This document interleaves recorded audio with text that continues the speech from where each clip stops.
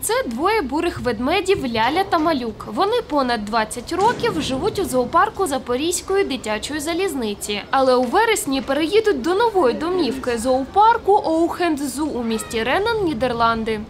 До октября прошлого года нормы содержания До жовтня минулого року норм утримання їх ми дотримувалися по 30 квадратних метрів на одного ведмедя. У жовтні 2020 року норми посилили. Ми переходимо на європейські норми. Тепер потрібно 200 квадратних метрів на одного ведмедя. Реконструювати вольєр у нас можливості немає, щоб їх задовольнити з водоспадами, басейнами. Тому було ухвалене рішення передати їх до інших рук. В Україні нікуди їх передати. Синевир відмовився. Через одну громадську організацію ми вийшли на нідерландський зоопарк, і вони будуть у нас їх забирати.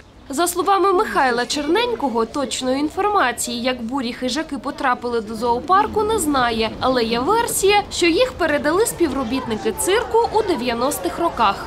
по преданию они были переданы нам цирку. За переказами вони були передані нам цирком. Ляля у нас з'явилась у 95-му році. В якому віці невідомо. Малюк молодший від лялі. Через рік вони у нас давали нащадків. Ми їх прилаштовували, на щось міняли. Ведмедиця похилого віку. Останні пару років вже нічого немає. Зараз вони їдять овочі зазвичай, кашу, мед, варення. Нині ведмедів готують до передання зоопарку нідерландського міста and then На данный момент э, мы произвели прививку от На цей час ми зробили їм щеплення від сказу. Всі інші процедури лікування зубів, взяття аналізів крові, біологічних показників. УЗІ зробили представники Дніпровської та Київської ветеринарних клінік. Їм вживили ідентифікаційні чіпи. Це обов'язкова умова для перетину кордонів. 7 червня журналісти Суспільного відправили офіційний запит до акціонерного товариства Укрзалізниця, аби дізнатися, скільки коштуватиме транспортування двох бурих ведмедів із Запоріжжя до нідерландського зоопарку та які в них там будуть умови. Чекаємо на відповідь у встановлений законом термін.